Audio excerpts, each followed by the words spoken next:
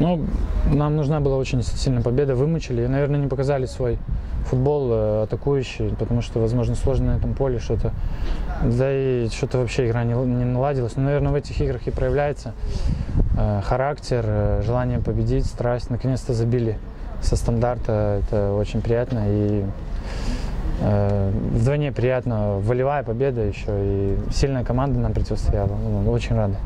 В первом тайме наша команда прессинговала активно, но пропустила в концовке. Ага. С чем связано, как ты думаешь? А немного, э, чуть-чуть, э, я думаю, в плане стандарта, мне кажется, маленькую ошибку допустили, мало людей ставили в подборе, обрезали, ну и там уже спасали ворота, не спасли. Ну, ничего, бывает.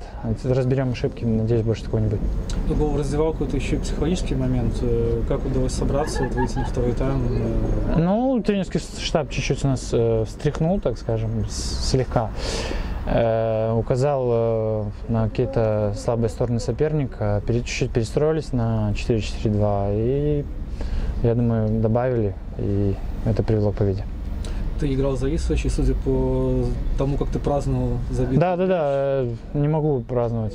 Все-таки два года поиграл в этой команде, у меня слишком много хороших воспоминаний о ней, поэтому праздновать гол, я считаю, неразумно. Отрезок, который тебе больше всего запомнился в этом матче с точки зрения вот игры нашей команды.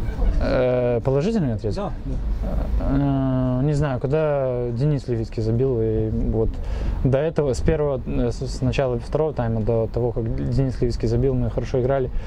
Потом опять что-то по счету, что-то опять не получалось. Ну ладно, это спишем, я думаю, на вот эту осенний футбол.